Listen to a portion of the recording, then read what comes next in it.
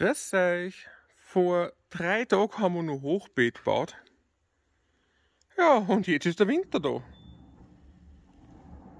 Ist eh Zeit geworden, sagen wir sehr ehrlich. Wir haben heute was, den 18. 19. November. Ja, jetzt haben wir endlich den Schnee, den wir befürchtet haben, aber irgendwie freuen wir uns ja drauf. Bin ja gespannt, wie unsere Händler reagieren werden. Vor allem ja, bin ich ein bisschen im Zwiespalt, weil einerseits denke ich mir, ich mag ja in Schnee nicht so, ne? Winterdienst, ihr wisst, das mache ich auch nebenbei noch, weil man ja sonst Fahrt wird. Also ich habe kein Problem damit, wenn es nicht schneit. Andererseits bin ich halt gespannt, wie unser Schneeschüttel funktioniert, wie der Traktor tut, wie unsere Händler reagieren. Ja, das ist Schnee, das ist super. Das ist Schnee, das ist super, naja. Bin mir nicht sicher, ob das so super ist, über das diskutieren wir dann nochmal. Und was sagen sie? Skepsis. Sind sie begeistert, ja? Ich geht. Mädels, ich verstehe euch so gut. Ich verstehe euch so gut, ich mag ihn auch nicht. Ja, der Plan war, dass wir heute mal den Traktor ausprobieren mit dem Schneeschüttel. Die Frage ist jetzt, ob das, was da jetzt aber kommt, ausreichen wird oder beziehungsweise es sie auszahlt. Unsere Sonnenblumen hat auch wegen erwischt, die sind auch nicht ganz glücklich, so wie es ausschaut. Ja, gehört dazu, wie gesagt. Wir haben den 18. 19. November.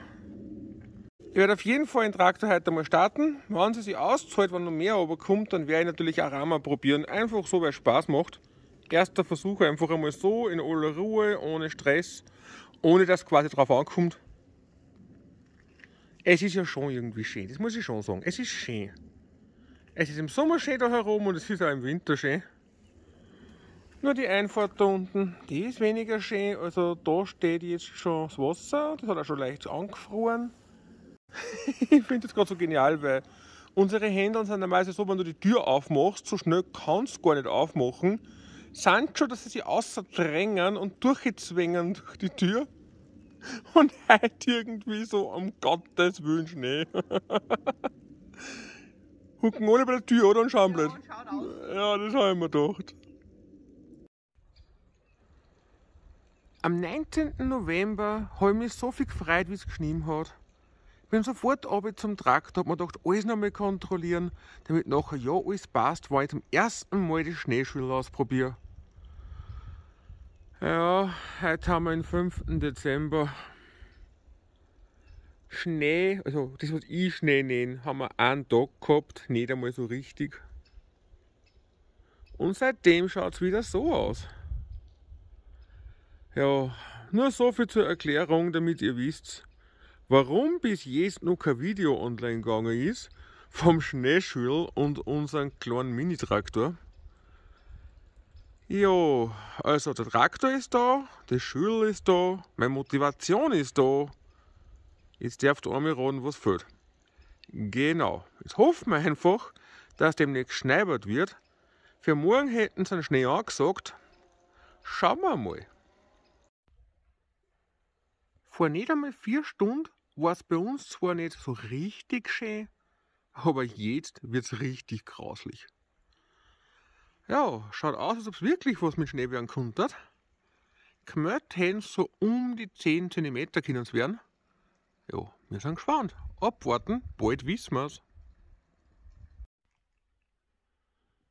Nur einmal eine Stunde später ist richtig grauslich geworden und der Nachbar war auch gerade herunten. Er ist extra runtergefahren, damit er mir sagt, dass er Schnee angesagt ist. Und ob wir eh noch genug Holz haben, weil sonst müssen wir nur rechtzeitig Bescheid geben, damit er uns was geben kann. Voll lieb, wie immer, was soll ich da noch sagen dazu? Mittlerweile sind ja 15 bis 20 cm angesagt. Ich kann das ganz schwer einschätzen, wir liegen da auf über 900 Meter. Mal schauen. Auf jeden Fall habe ich alles vorbereitet, ich habe noch schnell die Händeln versorgt. Die sind auch schon drinnen im Stall und fressen ganz gemütlich dahin. Der Traktor ist vorbereitet, ich habe die Batterien nochmal überprüft und, und, und. Mehr kann ich nicht machen, so wie es ausschaut. Kann es heute oder spätestens morgen in der Früh wirklich zum Rahmen werden. Auf jeden Fall, es ist ein grausliches Wetter, mir ist kalt, ich gehe wieder rein.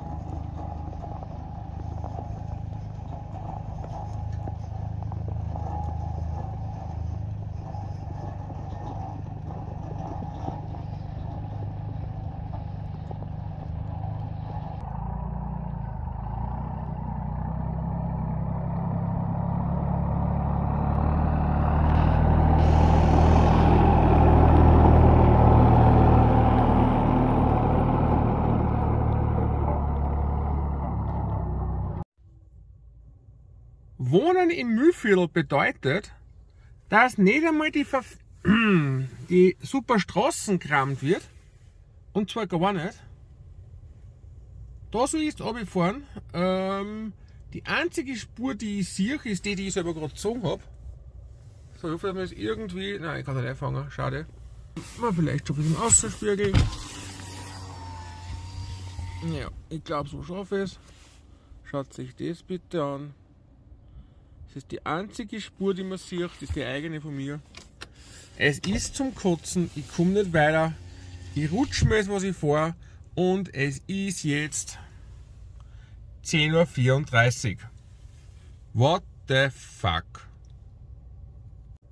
Die einzige Straße, die gerammt ist, wo man was sieht davon, ist unsere eigene Zufahrt, die was ich in der Früh mit dem Traktor gerammt habe. Äh, da traue ich jetzt auch mein Handy filmen während dem Fahren. Ja, das tue ich ja. Ist ein Privatweg, ist nichts Öffentliches, da darf ich das. Aber ganz ehrlich, ich meine, es ist ja da schon nicht schön fahren. Und da bin ich in der Früh gerammt. Ja, jetzt könnt ihr euch vorstellen, wie toll das ist, auf einer nicht geräumten Straße zu fahren. Jo, eh super. Auf jeden Fall ist dieses Mal Zufahrt. Bin begeistert. Wenn ich in der Früh nicht gerammt hätte, hätte man da überhaupt keine Chance.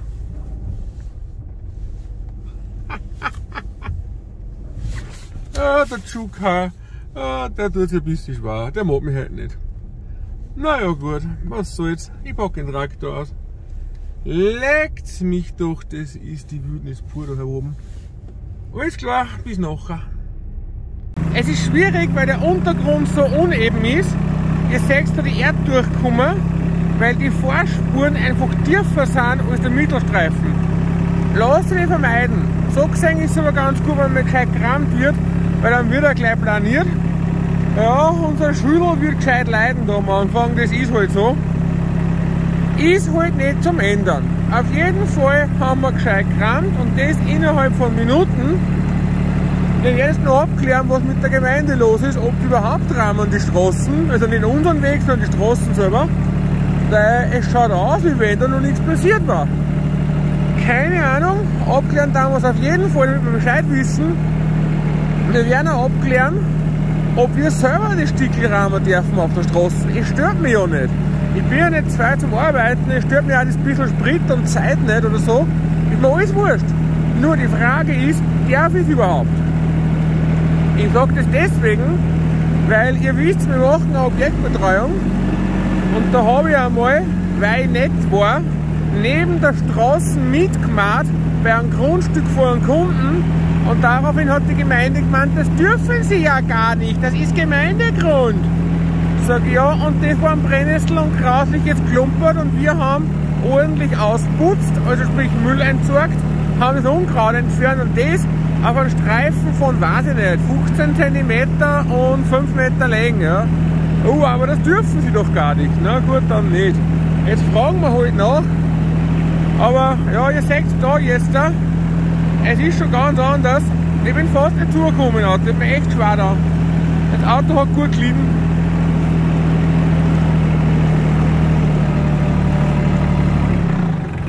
So, stellen wir nochmal an.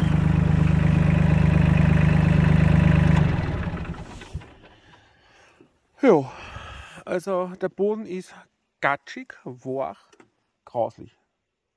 Auch wo ich gerade gerammt habe, ah ja, kommt der Dreck durch. Ihr wisst, da ist schon planiert und da haben wir schon dieses Schultergedöns eine da. Da oben mein Dachfenster. Ah, super. Eh ganz toll, was soll ich sagen. Also, mein kleines Büro hat nicht einmal mehr ein Tageslicht jetzt. Äh, aufmachen träumen wir sie jetzt nicht. Ja, es ist wunderschön. Man schaut sich das bitte an. Es ist doch wirklich wunderschön. Ne? Postkartenwetter würde ich fast sagen. Ab und zu wieder war Schnee, aber und dann rührt sie wieder was. Dann sieht man wieder mal ein Eichkastel, wo durchgehuschen.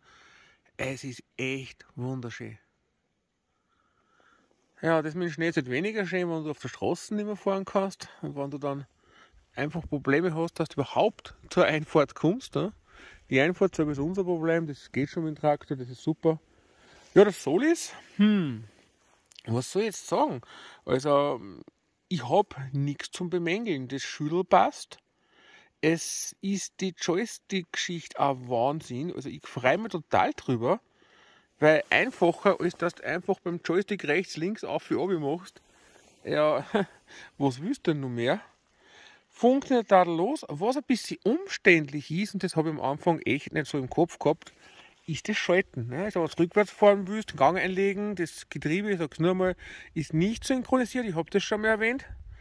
Ähm, das heißt, ab und zu hagelt ein wenig, ab und zu ein paar Sekunden. Ist nichts. Jetzt kriege ich den Schnee ins Knack. Teufel. ähm, wo war ich? Ja, genau. Also, es ist nicht synchronisiert und dann hagelt es halt einmal. Das ist nicht wild, das ist nicht schlimm. Ähm, es ist ungewohnt. Ja? Man muss wieder einfach vom Auto, das ist nur zur Automatik, unser kleines Scheißerl. Ja, das ist natürlich auch so eine Sache, Automatik fährt und dann fährst Traktor. Lustigerweise, von Automatik auf den Traktor, auf den Schalter, kein Thema. Aber vom Traktor wieder ins Auto. Das Auto lenkt sich schwerer und hat vor allem den Schalter nicht da unten. Aber die größte Umstellung ist, ich will immer kuppeln. Also mein linker Fuß, den muss ich dann jedes Mal lernen, dass er mal ruhig hält. Naja. Dauert immer so, weiß ich nicht, ein, zwei Kreuzungen oder so und dann habe ich es wieder.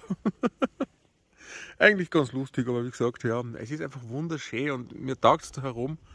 Das Schneerahmen funktioniert für uns wirklich tadellos. Auch unsere Abfahrt, die ja ein bisschen blöd ist. Man sieht da jetzt gar nicht, wie steil die eigentlich ist. Aber die ist wirklich blöd zum Fahren. Äh, wir wissen mittlerweile, dass da schon einige Autos hängen geblieben sind. Gibt ganz tolle Geschichten vom Nachbarn. Der hat schon einige Leute da aus der Zeit, nämlich von unten, sind runtergefahren in die Garage und sind nicht mehr raufgekommen. Tja, ist uns noch nicht passiert und sonst hätten wir den Traktor zum Aufschleppen, müsste eigentlich funktionieren. Ja, erstes Fazit zum Solis äh, mit dem Schneeschild.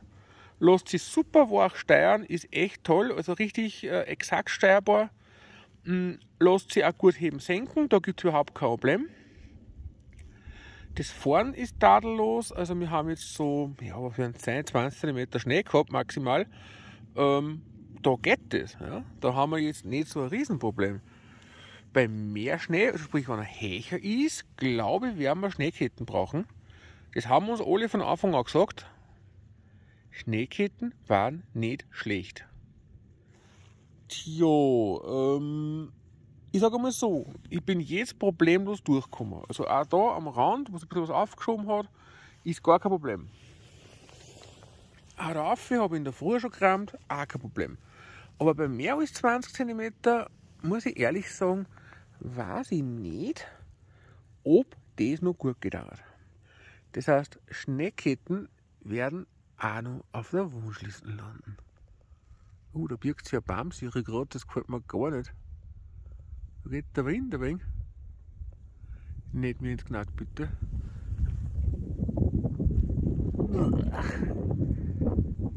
Ich darf trauen, wo es hingegangen ist. Ne? Eh super. Immer eine gute Stelle ausgesucht. Ja, also Praxistest bestanden.